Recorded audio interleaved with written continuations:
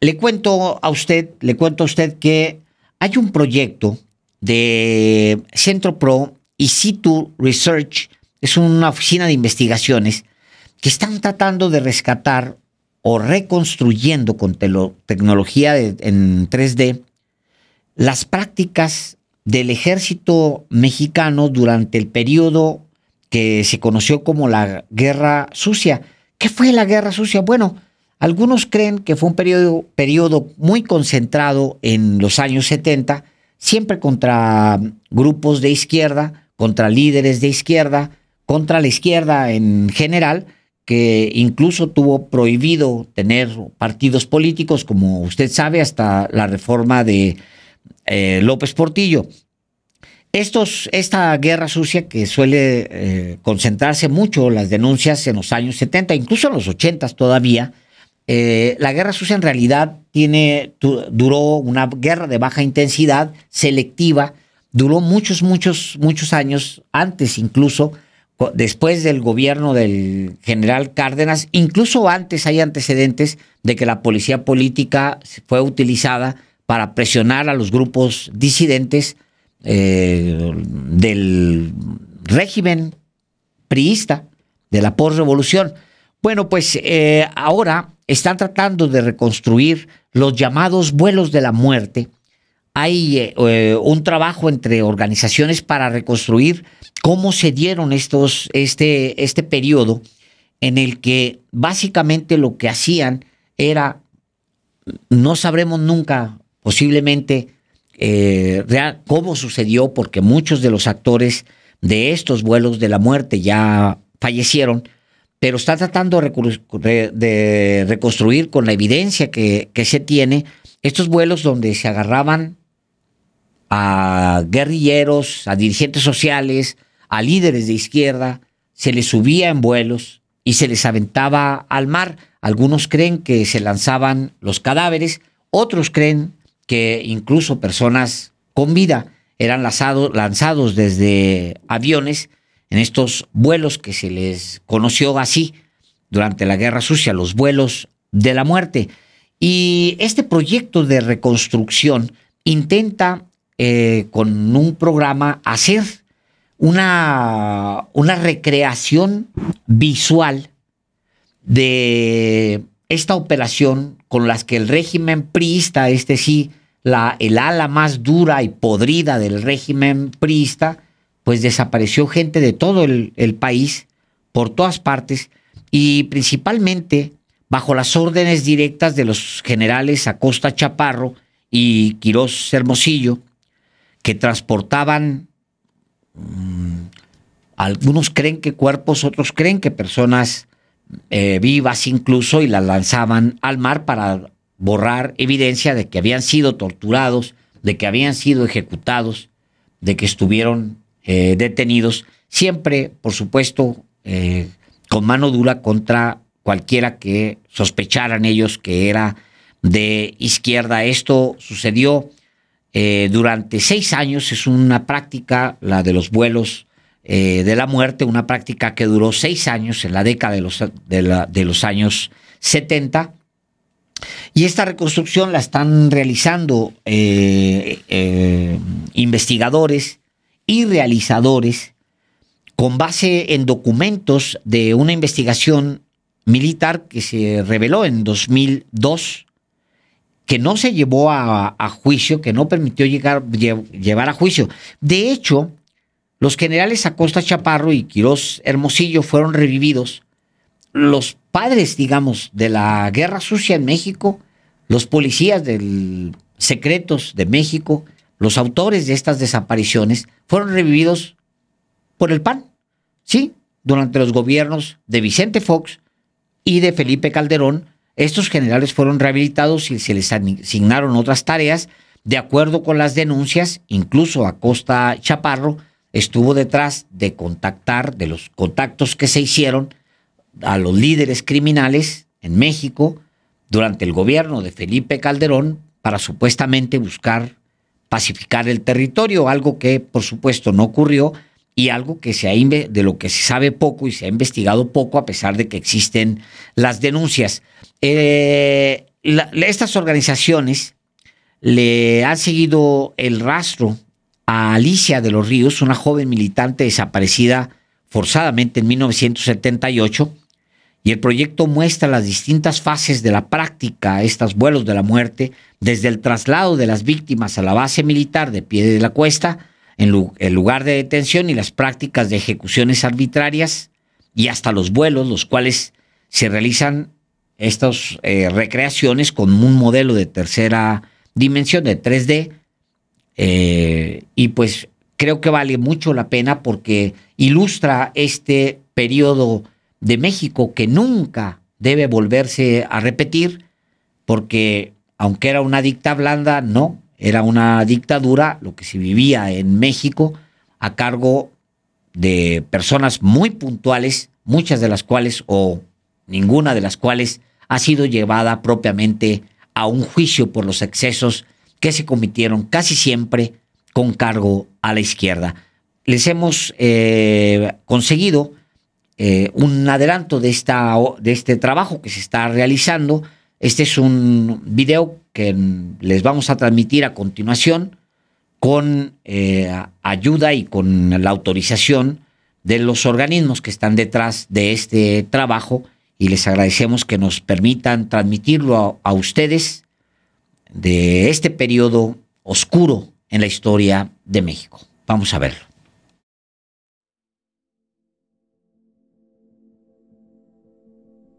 Desde finales de la década de 1960 hasta finales de la década de 1980, el régimen autoritario que gobernaba México recrudeció las acciones de persecución de disidentes políticos, se cometieron graves violaciones de derechos humanos y crímenes de lesa humanidad, y las desapariciones forzadas surgieron como una práctica sistemática para eliminar a individuos percibidos como amenazas, buscando dejar sin rastro el paradero de las víctimas y el rol del Estado.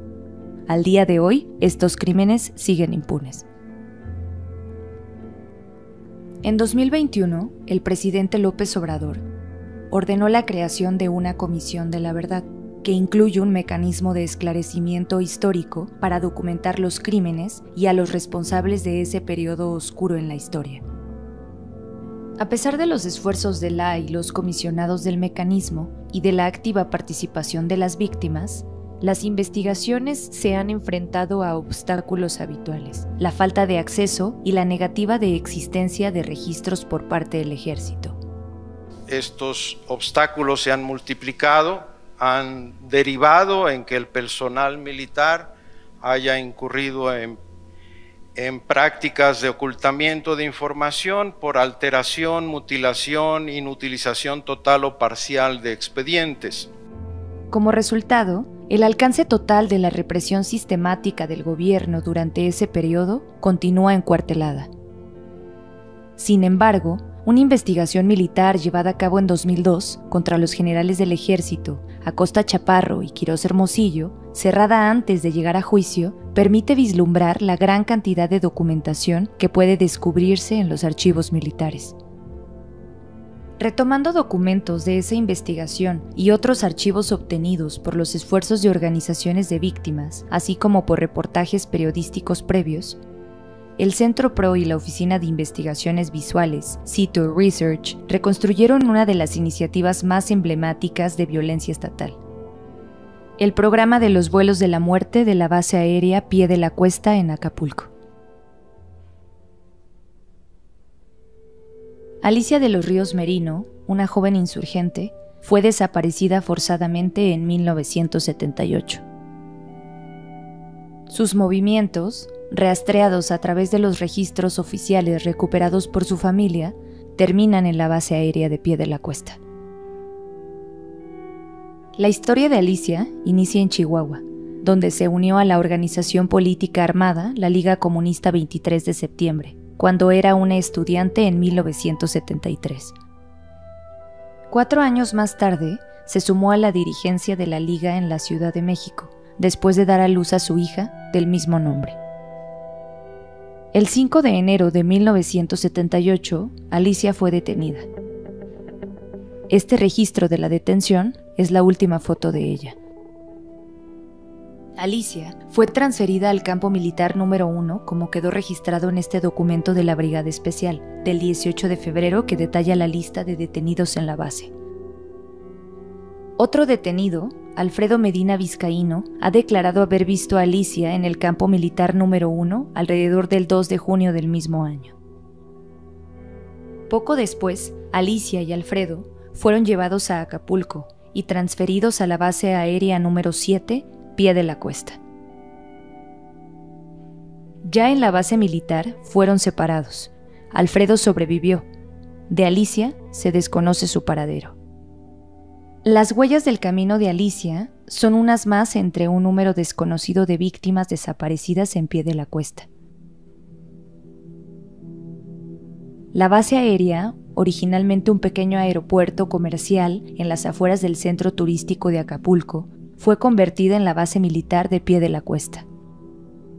Una imagen desclasificada de un satélite espía estadounidense de 1975 revela la disposición de la base en la época de los vuelos de la muerte. Los documentos obtenidos de la investigación militar de 2002, que incluyen más de 10 testimonios del personal militar destinado en la base durante este periodo, así como materiales de nuestra propia investigación, coinciden con la imagen del satélite. Un croquis de un policía militar de la base, combinado con los testimonios de otros testigos, proporciona un esquema más detallado. A mano izquierda se encuentran los hangares, donde se guardaban los aviones. Al lado derecho de la entrada se encuentran las oficinas y las cuadras de los soldados, donde descansa el personal militar. A la salida de los hangares inicia la pista para aterrizaje y despegue de los aviones. En el extremo de los hangares que dan a la playa, casi de frente, había una construcción de ladrillo con techo de cemento. Esta estructura, conocida como el búngalo, servía de celda de detención temporal antes de que se cometieran las ejecuciones arbitrarias. Los testimonios de la investigación militar describen cómo los detenidos eran conducidos, con los ojos vendados, a un banco en la playa a un costado del muro orientado al oeste con el pretexto de tomarles una foto. Dos testigos explican cómo les disparaban por detrás en el cuello. Fotografías de personas detenidas en 1971 que fueron trasladadas a pie de la cuesta pueden geolocalizarse basándose en las estructuras que se identifican al fondo. Asimismo, se alinean con un mapa de elevación de la Sierra Madre del Sur. La posición de estas fotografías corresponden con la ubicación del búngalo. La reconstrucción 3D se modeló a partir de las construcciones plasmadas en las fotos, junto con el perímetro de la construcción de la imagen satelital. La única imagen del búngalo conocida antes de esta investigación, aunque de mala calidad, parece coincidir y proporciona una referencia para su muro norte.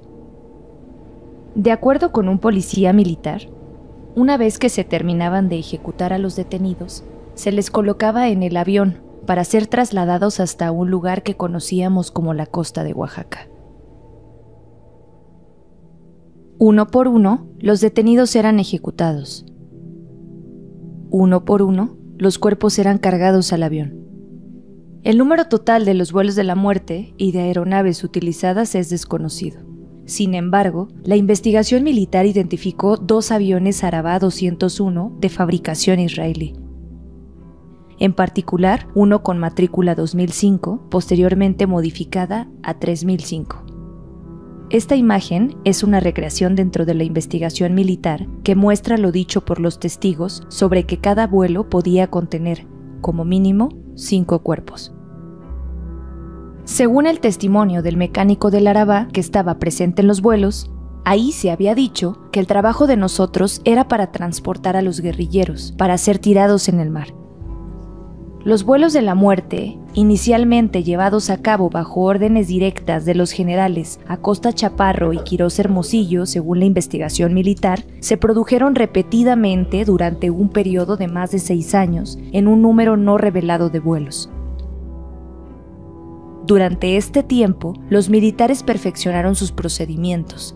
Así, la puerta lateral derecha del avión, que inicialmente no habría sido colocada, se ponía y solo se quitaban al momento de arrojar los cuerpos para maximizar las distancias del vuelo. Se colocaba una lona para evitar que rastros de sangre se filtraran en las grietas del avión y los cadáveres se metían en sacos llenos de rocas para garantizar que se hundieran en el mar. Dos testimonios describen que la tripulación se conformaba de dos pilotos, un mecánico y por lo menos tres policías militares. El testimonio de un mecánico menciona. Había tres elementos de la policía militar que iban en el avión. Uno de ellos empezó a jalar los cuerpos y a acercarlos al espacio de la puerta, mientras los otros dos los tomaban uno por las manos y otro por los pies, los balanceaban y los empezaban a tirar. Entre las víctimas, de acuerdo con el testimonio del mecánico, no solo había miembros de la Liga 23 de septiembre y otros guerrilleros, sino también gente de todas las clases, gente del campo, de las ciudades, de buena situación económica, ingenieros, médicos con estudios universitarios de todo tipo. Otro policía militar afirma que se llevaba un registro de los nombres de las víctimas, información que sigue siendo inaccesible.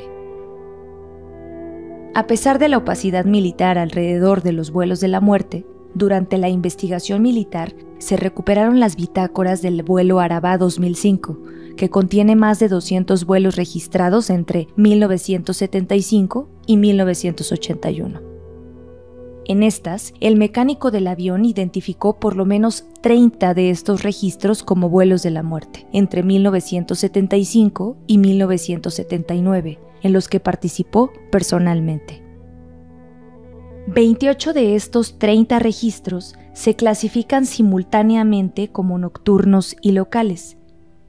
Esta doble clasificación fue reconocida por el mecánico como uno de los modos en los que se registraban los vuelos de la muerte.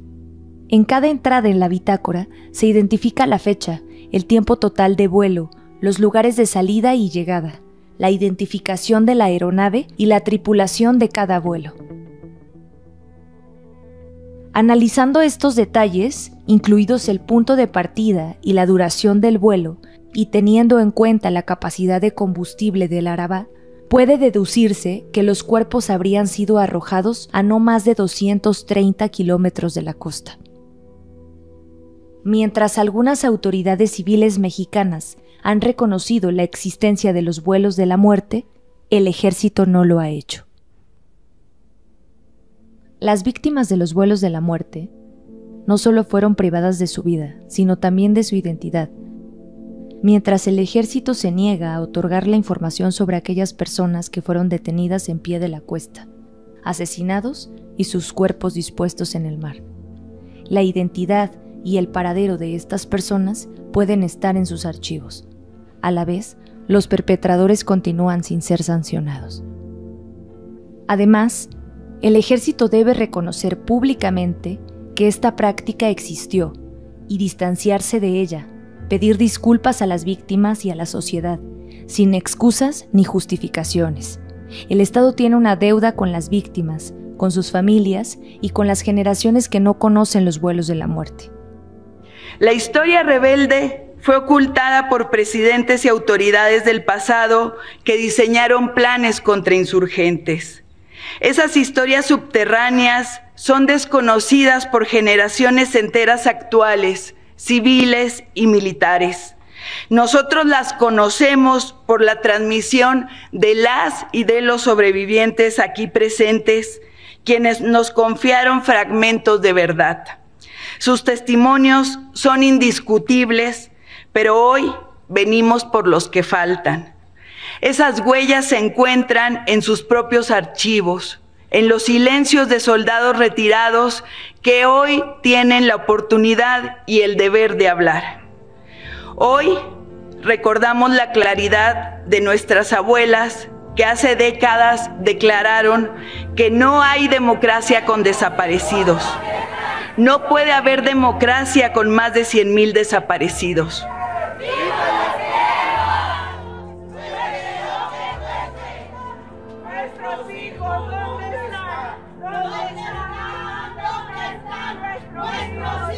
¿Dónde están? Nuestros hijos, ¿dónde están? ¿Dónde están? ¿Dónde están? Nuestros hijos, ¿dónde están? Porque vivas se las llevaron. ¡Viva se llevaron!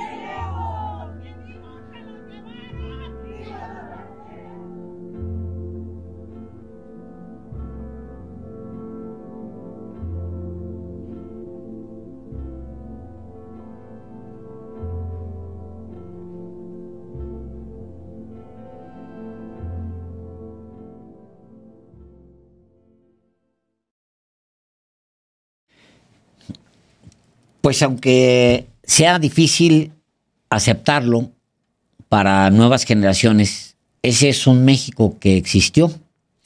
Todas las libertades que disfrutamos hoy son consecuencia de la lucha de muchos miles de hombres y mujeres durante décadas por tener este momento que disfrutamos hoy, donde podemos decir las cosas que debemos decir, donde podemos estar en libertad ese México es el que no puede regresar.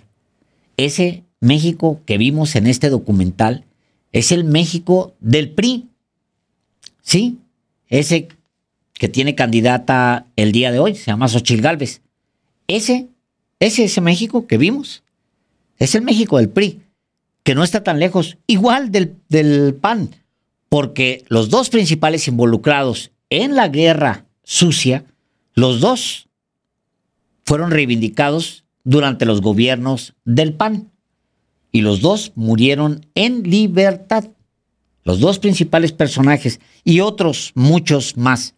Por eso es importante nunca olvidar, porque es ni perdón ni olvido. Y es importante que todos sepamos lo que sucedió para que nunca se vuelva a repetir.